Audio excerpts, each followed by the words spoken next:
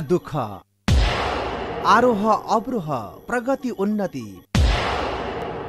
यी सबै विषयलाई समेटिएको कार्यक्रम जीवन यात्रा।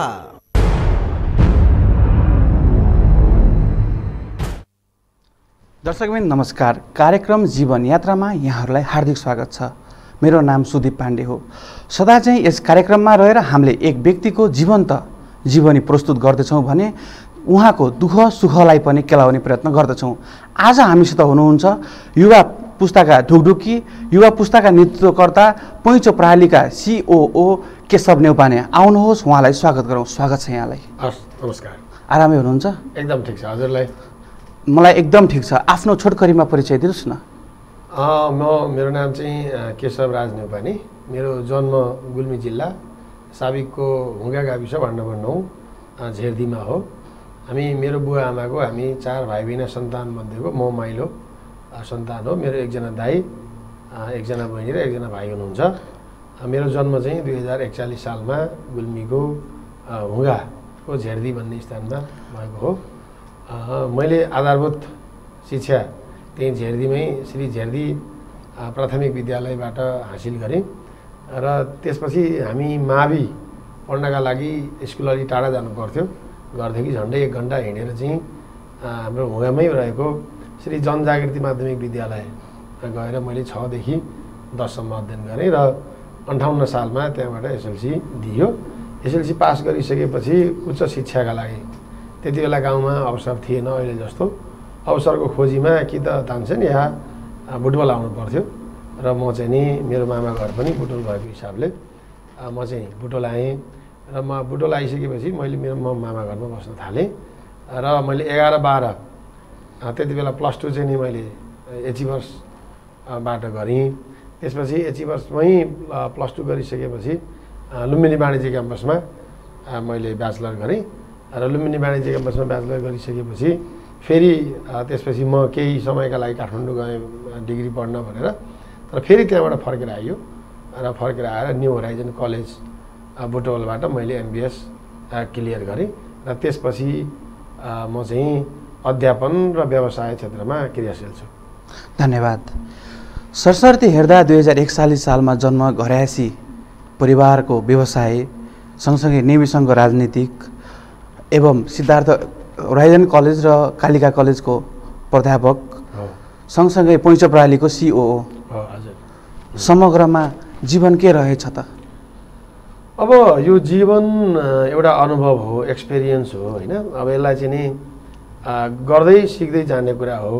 अब कसैले अब हामी चाहिँ नि लाउरेका छोराहरू त्यो हिसाबले हाम्रा पिता पुर्खाहरू लाउर जानुभयो अथवा विदेश जानुभयो त्यसलाई हामीले क्रस गरेर अब केही उद् उद्योग गरौँ व्यवसाय गरौँ अथवा शिक्षा क्षेत्रमा अगाडि बढौँ भन्दाखेरि हामीलाई धेरै चुनौतीहरू छन्।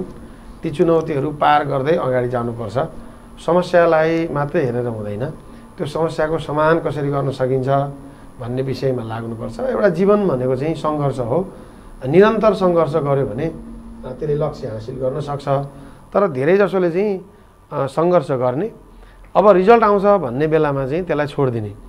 त्यसो गर्दाखेरि जीवन चाहिँ हरेस खान सक्छ। तर निरन्तर निरन्तर कोसिस गर्यो र त्यो कोसिस गरेको बाटो चाहिँ सही छ भने अवश्य सफलतामा पुग्न सकिन्छ। त्यसले गर्दा मेरो विचारमा जीवन एउटा भोगाइ हो। अहिले हामी निरन्तर भोगाइमै छौँ। जीवनका भावी योजना के के देख्नुहुन्छ हजुरले? अब जीवनको एउटा एक्टिभ लाइफको मध्येतिर आइपुग्यो भनौँ होइन? अब एउटा रिक्स जोखिम उठाउन सक्ने समय चाहिँ पार भइसक्यो। अब एक हिसाबले उमेरका हिसाबले पनि अब धेरै जोखिम वहन गर्न सकिन्न। त्यसले गर्दा अहिलेसम्म सुरु गरेका योजनाहरू छन्। जस्तो अब म कलेजमा प्राध्यापन गरिरहेको छु। मैले न्यू होराइजन कलेजमा गरेँ। त्यस्तै गरेर शङ्कर नगर बहुमुखी क्याम्पसमा गरेँ र अहिले म बुटोल कालिका क्याम्पसमा कार्यरत छु। म यो चाहिँ मेरो यो शैक्षिक पेसालाई मैले निरन्तर अवलम्बन गर्ने र त्यसपछि हामीले सुरु गरेका बिजनेसहरू छन् जस्तो पैँचो पसल प्रणाली छ त्यस्तै गरेर होटल पौवा छ त्यस्तै गरेर टुना टेक्नोलोजी भन्ने सफ्टवेयर कम्पनी छ त्यस्तै गरेर अहिले हामीले भर्खरै पैँचो बहुद्देश्य सहकारी संस्था पनि दर्ता र गठन गरेका छौँ। अब यसलाई व्यवस्थित रूपमा सञ्चालन गर्ने र भावी पुस्तालाई चाहिँ नेपालमै केही हुनसक्छ केही गर्न सकिन्छ भन्ने हिसाबले चाहिँ भावी पुस्तालाई मार्गदर्शन गराउने मेरो अब बाँकी दिनहरूको चाहिँ लक्ष्य छ।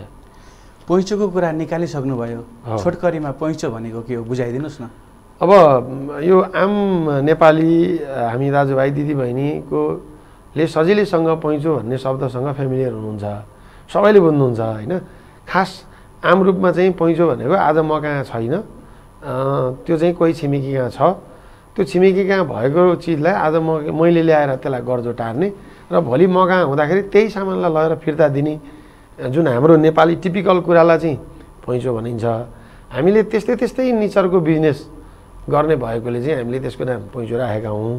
र यो पैँचो भनेको चाहिँ एउटा ब्रान्ड हो होइन? यो अभियान हो।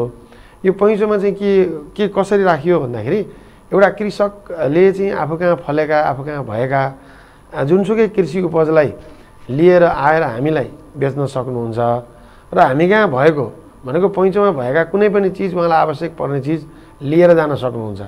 एउटा सामानले अर्को सामानलाई मोनिटरी भेल्युमा कन्भर्ट गरेर साट्न सकिन्छ। कुनै किसानको घरमा आँप छ भने उहाँले ल्याएर आँप पैँचोमा बेच्न सक्नुहुन्छ र त्यो आँपलाई क्यासमा कन्भर्ट गरिसकेपछि अथवा नगदमा परिवर्तन गरिसकेपछि त्यही नगद प्रयोग गरेर फेरि आफूलाई चाहिने दाल चिनी तेल नुन लिएर जान सक्नुहुन्छ। यसरी साटासाटको भावनाबाट प्रेरित भएर व्यापार सुरु गरिएको हुनाले यसको नाम हामीले पैँचो राखेका हौँ।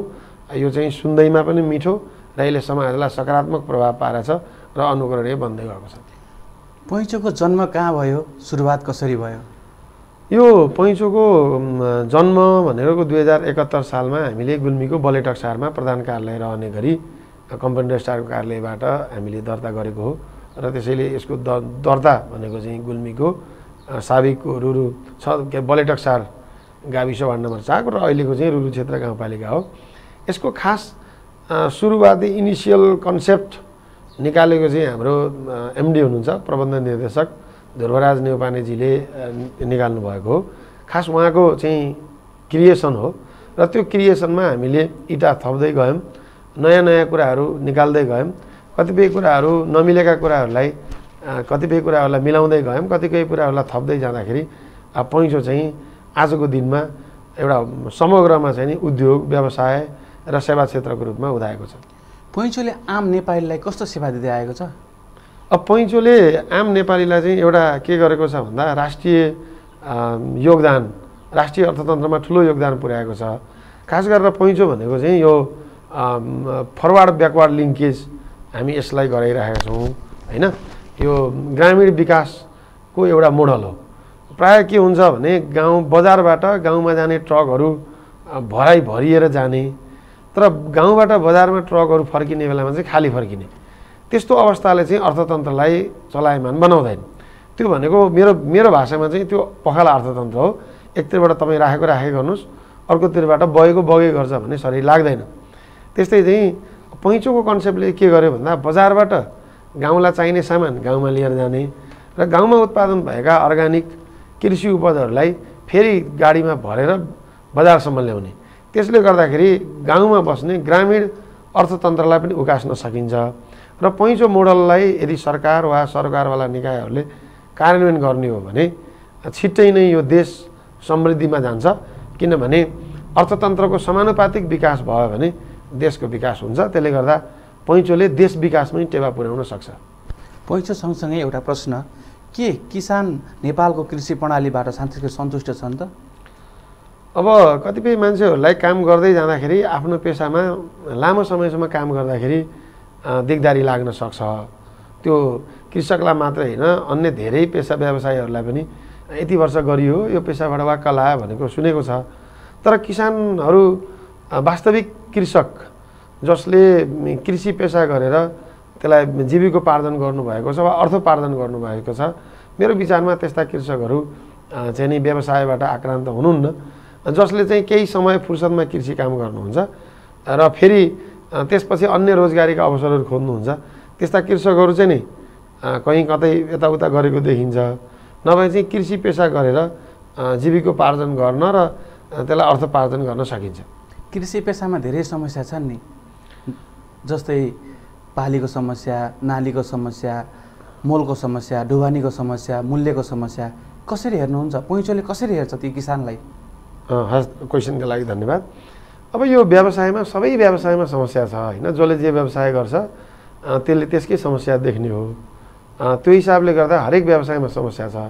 अब कृषिमा नेपाल भौगोलिक रूपमा अलि विकट सुविधा सम्पन्न कम कृषकहरू चाहिँ आफैले लगानी गर्न नसक्ने अवस्थामा चाहिँ कृषिमा धेरै समस्या छन् जस्तो कृषकलाई उन्नत किसिमको बिउ प्राप्त नहुने बिउ लगाउने समयमा सिँचाइको व्यवस्था नहुने मल बिउ मल खाद र जेनतेन उत्पादन गर्यो भने अझै तपाईँले भन्न छुटाउनु भएको जङ्गली जनावरहरूको पनि अहिले गएर हेर्ने हो भने नेपालका पहाडी जिल्लाहरूमा र तराईका जिल्लाहरूमा पनि यो जङ्गली जनावरको अर्को समस्या छ होइन? यो नीति नियम ऐन कानुन अनुसार अब जङ्गली जनावरहरूलाई नियन्त्रण र संरक्षण गरिएन भने अर्को समस्या हो। तर यसलाई सरकारले नियन्त्रण गर्न सक्छ होइन? किसानलाई उचित किसिमले बजारको ग्यारेन्टी गर्ने र सबै किसानले एउटै किसिमको उत्पादन गर्ने भन्दा पनि बजारमा माग भएका उत्पादनहरूलाई विविधीकरण गरेर उत्पादन गर्ने हो भने बजारमा समस्या बिस्तारै कम गर्न सकिन्छ। जहाँसम्म रासायनिक मल बिउका कुराहरू छन् यो एउटा किसानले वा एउटा पालिकाले समाधान गर्न सक्ने विषय होइन। यो राष्ट्रले नै गहन रूपमा लाग्ने हो भने मात्रै समाधान गर्न सकिन्छ। कृषिमा धेरै समस्याहरू छन् तर अहिले पालिकाहरूले समन्वय गर्ने र पैँचोले पनि त्यस्ता समस्यालाई समाधान गर्नका लागि किसानहरूलाई मल्चिङ प्लास्टिक टनेल बिउ बिजनहरूमा लगानी गर्ने र उहाँहरूको आम्दानी आइसकेपछि मात्रै त्यसलाई घटाउने कतिपय अवस्थामा अन्य सुविधाहरू पनि दिएका छौँ। त्यस्तै गरेर कृषकलाई घरमै पुगेर जेटिए सुविधा हामीले उपलब्ध गराएका छौँ। किसानको घर घरमा गएर हामीले चाहिँ नि किसानलाई बिउ कसरी राख्ने कुन लगाउने कुन जातको उत्पादन गर्ने त्यसको बजार भाउ कहिले छ होइन? अथवा कुन कुन समयमा कस्तो कस्तो उत्पादन गर्ने हामीले बालो बाली पात्रो हामीले किसानहरूलाई डायरी उपलब्ध गराएका छौँ बाली पात्रोसहित र विभिन्न सामाजिक सञ्जालका पेजहरू हामीले उपलब्ध गराएका छौँ। त्यो पेजहरूमा पनि उहाँहरूले कृषिसँग सम्बन्धित सूचनाहरू लिन सक्नुहुन्छ। र कृषिमा एउटा समस्या अझ- तपाईँले नभनेको समस्या भनेको कृषक आफैले चाहिँ आफ्नो कृषि उपजको लागत निर्धारण गर्न सक्नुहुन्न। होइन बजारमा भाउ नियन्त्रण गर्ने मूल्य नियन्त्रण गर्ने अर्को तब्का हुँदाखेरि पनि उहाँहरूलाई चाहिँ नि समस्या छ। कृषिमा धेरै समस्याहरू छन् तर ती समस्यालाई समाधान गरेर जान सकिन्छ। नेपालको भविष्य भनेको कृषिमा हो। त्यसले गर्दा नेपालले कृषिमै ध्यान दिनुपर्छ। कृषिमा प्रचुर सम्भावना छ हामी त्यसैमा लाग्नुपर्छ। साँच्चीकै कृषि पेसामा आबद्ध सम्पूर्ण नेपालीहरूको घर घरमा पैँचो कसरी पुगिरहेको छ त? अब अहिले हामीले विशुद्ध पैँचो मोडल चाहिँ गुल्मी अर्घाँची अ, रूपन्देहीका केही ठाउँमा र खास गरेर गुल्मी र अर्घाँचीमा हामीले बढी फोकस काम गरेका छौँ।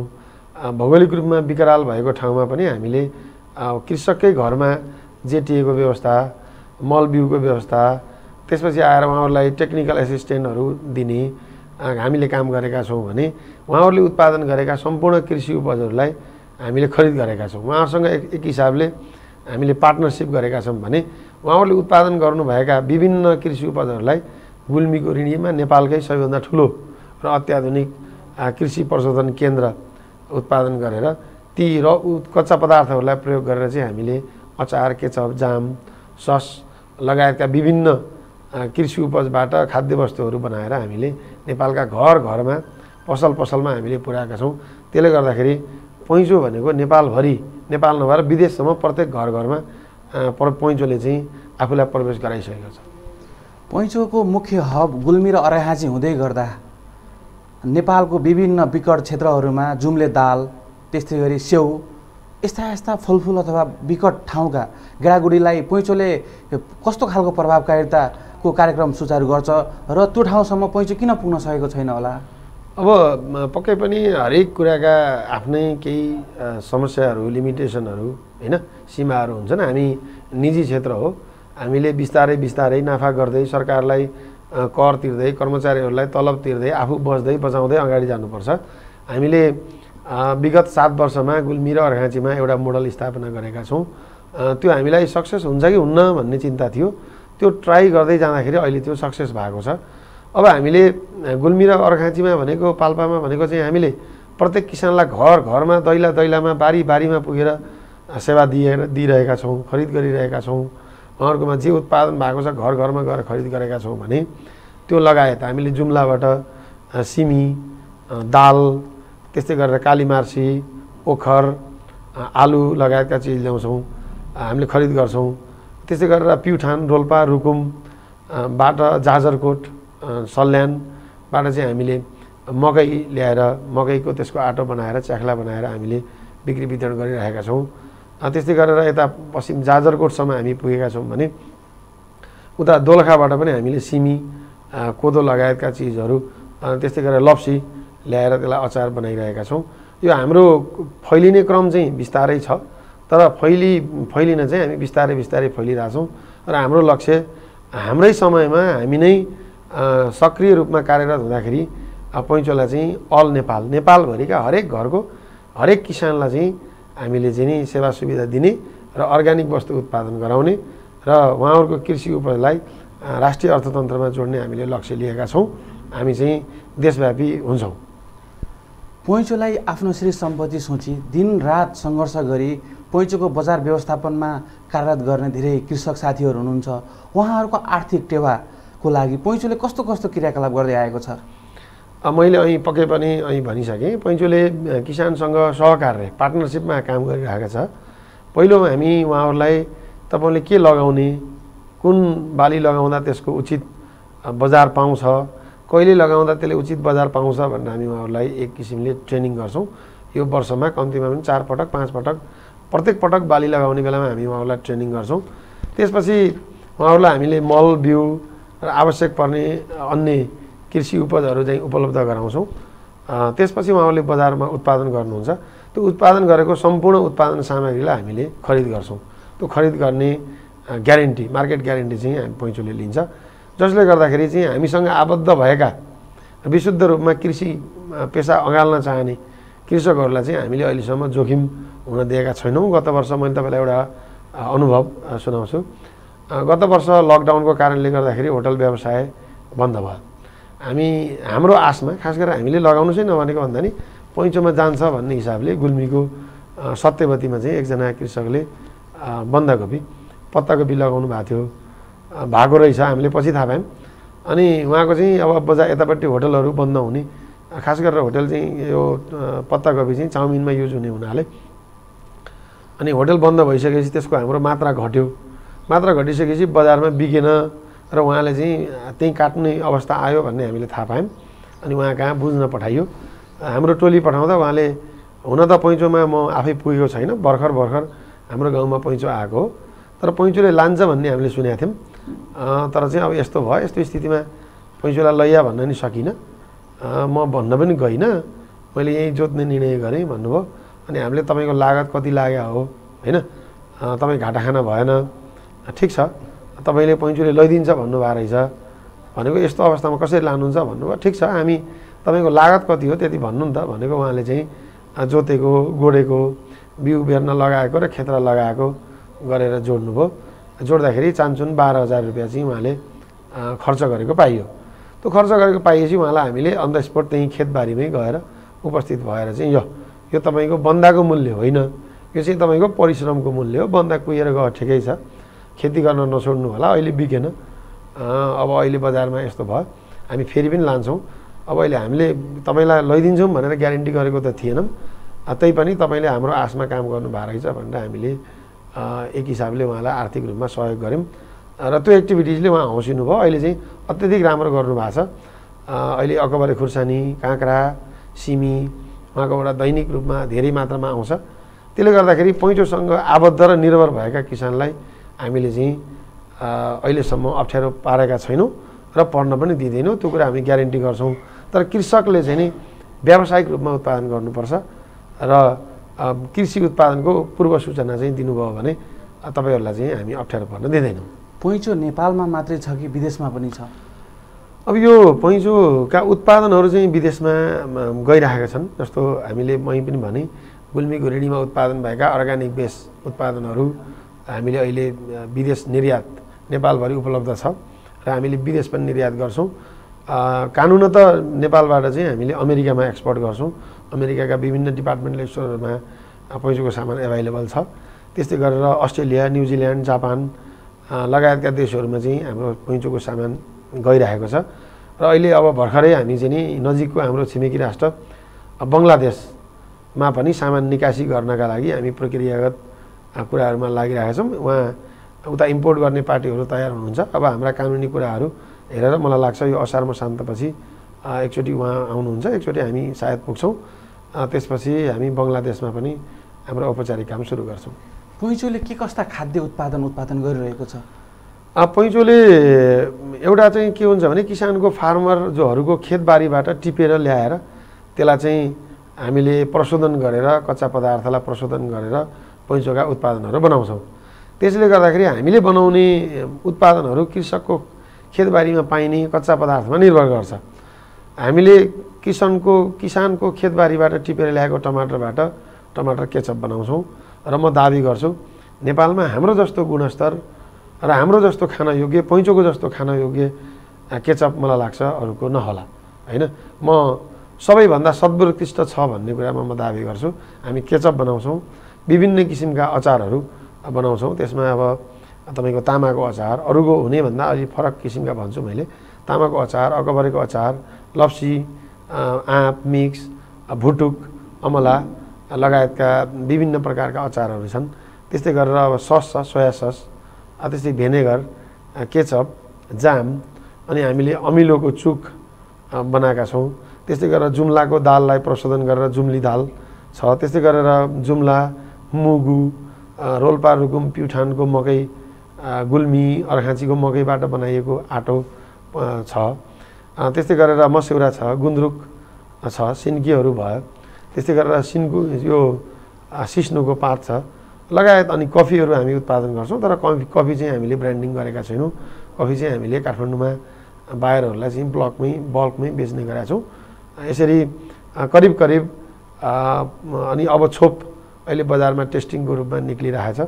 अब छोप पैँचो छोप भनेर चाहिँ बजारमा आइरहेछ। यसलाई हामी काठमाडौँ र बुटोलमा परीक्षणका रूपमा बिक्री सुरु गरिसकेका छौँ। यसले गर्दाखेरि लगभग लगभग हाम्रो पचासभन्दा माथि किसिमका पैँचोका उत्पादनहरू देश तथा विदेशमा बिक्री वितरण भइरहेको छ पैँचो प्रेमी नियमित ग्राहकका लागि पैँचोले के कस्ता सुविधा दिइआएको छ? अब पैँचोमा नियमित आउनुहुने पाल्नुहुने सम्पूर्ण ग्राहक र पैँचो घरमै बसेर पैँचोका सामानहरू प्रयोग गर्नुहुने ग्राहकलाई हामी विभिन्न स्किमहरू ल्याएका छौँ। पहिलो हामीले ग्राहकलाई दिने र दिएको भनेको स्वस्थवर्धक उत्पादन वा वस्तु हो। पैँचो वा पै पैँचोबाट उत्पादन भएका वा पैँचोमा आएर तपाईँले खरिद गर्ने त्यो खाद्य पदार्थ होस् वा तरकारी होस् त्यो चाहिँ स्वस्थ पूर्णतः स्वस्थवर्धक छन्। पहिलो त पैँचोले चाहिँ आफ्ना ग्राहकहरूलाई स्वस्थवर्धक खाना उपलब्ध गराइरहेको छ। स्वास्थ्यमा एकदम हामी ख्याल गर्छौँ। दोस्रो हामी कहाँ आउनुहुने पाल्नुहुने रेगुलर आउनुहुने ग्राहकहरूलाई चाहिँ हामीले समय समयमा विभिन्न योजनाहरू पस्किन्छौँ। अहिले पनि हाम्रो यहाँ मणिग्राम रूपन्देहीको मणिग्राम कालिका नगर त्यस सुकानगर तानसेन र त गुल्मीको तमगासमा रहेका शाखाहरूमा यो नगद बम्पर अथवा हामीले अहिले चाहिँ हर प्रत्येक दिन उपहार योजना सञ्चालन गरिरहेका छौँ। त्यहाँ आएर खरिद गर्नुहुने सम्पूर्ण ग्राहकज्यूहरूले चाहिँ त्यस्तो सुविधाबाट लाभ लिइराख्नु भएको छ भने अन्य शाखाहरूबाट पनि हामीले त्यो शाखाको भौगोलिक आवश्यकता अनुसार हामीले चाहिँ नि स्किमहरू ल्याउँछौँ र खास गरेर दसैँ तिहार उपहार योजनाहरू ल्याउँछौँ। किसानहरूका लागि हामीले किसानलाई उत्पादनमा आधारित स्किमहरू दिन्छौँ। धेरै जति धेरै उत्पादन गर्नुहुन्छ उहाँहरूलाई हामी पुरस्कृत गर्दै जान्छौँ। त्यस्तै गरेर हाम्रा ग्राहकहरूलाई हामीले सन्तुष्टिका आधारमा पनि हामीले सेवा दिन सकेका छौँ भन्ने हो। र पैँचोले सबैभन्दा दिन सकेको अहिलेसम्म दिन सकेको भनेको स्वस्थवर्धक खाना नै हो। देशमै कृषिमा आत्मनिर्भर हुनको लागि युवाहरूले कस्तो खालको भूमिका निर्वाह गर्नु पर्ला अब कृषिमा नेपाललाई आत्मनिर्भर बनाउनै पर्छ। हामीले सुन्छौँ नेपालले धान चामल लगायतका चिजहरू निर्यात गर्थ्यो। आज त्यो अङ्क ऋणात्मक छ भनेको हामी ल्याएर खान्छौँ। नेपालको विकास भनेको कृषि पर्यटन नै हो र जलविद्युत हो। त्यसमा हामीले पैँचोले वा हामीले गर्न सक्ने भनेको कृषि क्षेत्र हो।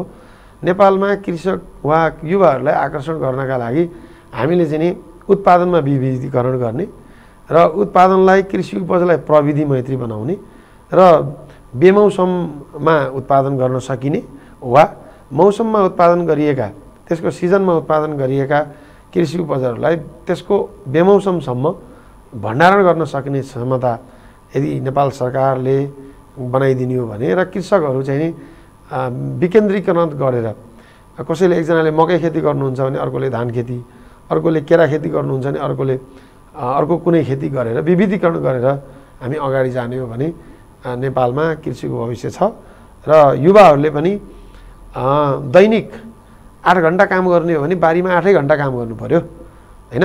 अब आज एउटा काम पऱ्यो भने गयो भोलि अर्को काम पऱ्यो भने गयो अनि कसैले सोध्यो भने पेसा चाहिँ कृषि हो भन्ने अनि बारीमा चाहिँ नजाने अनि पेसा चाहिँ कृषि भन्दै गर्ने खेतमा पनि नजाने गर्ने हो भने हामी देश हामी आत्मनिर्भर पनि हुँदैनौँ र किसानलाई अथवा युवालाई आकर्षण पनि गर्न सकिन्न।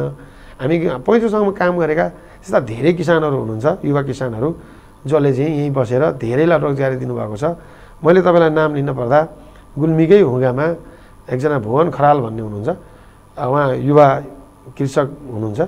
अविवाहितै हुनुहुन्छ भने चाहिँ एकदमै युवा हो। उहाँले चाहिँ अहिले पनि रेगुलर रूपमा चालिसजना पैँतिस चालिस पचासजनालाई अवस्था हेरेर तर कम्तीमा पनि पैँतिसजनालाई उहाँले निरन्तर रोजगारी दिइराख्नु भएको छ। त्यो के हो त भन्दा उहाँले चाहिँ व्यावसायिक रूपमा उत्पादन गर्नुहुन्छ खेतबारीमा लाग्नुहुन्छ भिड्नुहुन्छ र पचासौँ लाखको चाहिँ वर्षमा कारोबार गर्नुहुन्छ कृषिसँग सम्बन्धित र उहाँले कमाउनु पनि भएको छ होइन? त्यो हिसाबले गर्दाखेरि चाहिँ नि कृषिमा आत्मनिर्भर गर्न र युवालाई ल्याउनलाई चाहिँ नि प्रविधि मैत्री हुनुपर्छ। बढ्दो बेरोजगारी देशको महँगी एवं हरेक कुरामा राजनीतिक हस्तक्षेप छोटकरीमा यसको समाधानको लागि कृषकले कसरी अनुदान पाउलान् अथवा कृषक कसरी अगाडि बढ्न सक्लान्? अब यो राजनीति राजनीतिमा हस्तक्षेप युवा भनेको चाहिँ जब बेरोजगार भइसकेपछि हामी धेरै कुरामा चासो राख्छौँ।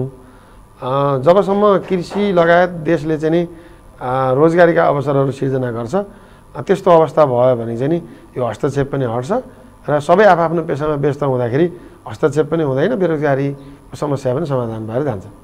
अन्तिममा बुद्ध सामुदायिक टेलिभिजन हेरेर बस्नुहुने सम्पूर्ण दर्शकबिनलाई के भन्न चाहनुहुन्छ? अन्तिममा यति बेलासम्म मलाई र मेरा कुराहरू हेरिदिनु हुने सुन्नु हुने सम्पूर्ण बुद्ध सामुदायिक टेलिभिजनका दर्शकहरूलाई म के भन्न चाहन्छु भन्दाखेरि हामी कृषि हाम्रो मूल पेसा हो। कृषि गरौँ कृषि कर्मले नै हामीलाई अगाडि लान्छ। विदेशमा स्वदेशमा बस्नुहुने सम्पूर्ण दाजुभाइहरू आउनुहोस्। कृषिसँग सम्बन्धित कुनै तालिम गर्नु पऱ्यो सोध्नु पऱ्यो बुझ्नु पऱ्यो भने हामी कहाँ दक्ष प्राविधिक सुविधा छ त्यसलाई प्रयोग गर्नुहोस्। र तपाईँले यदि कृषिसँग सम्बन्धित अचार केचप जाम अन्य अन्य चिजहरू उपभोग गर्दै हुनुहुन्छ भने देशमै बनेको देशकै माटो र उच्च स्तरीय प्रविधिबाट बनेको पैँचोका उत्पादन नै प्रयोग गर्नुहोस् र यो टेलिभिजनलाई सधैँभरि माया गर्नुहोस्। म यति भन्न चाहन्छु। हस् नमस्कार। समय र संवादको लागि धेरै धेरै धन्यवाद। हस् नमस्कार।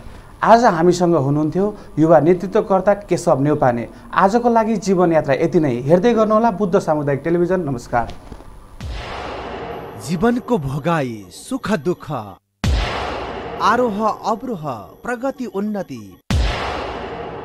यी सबै विषयलाई समेटिएको कार्यक्रम जीवन यात्रा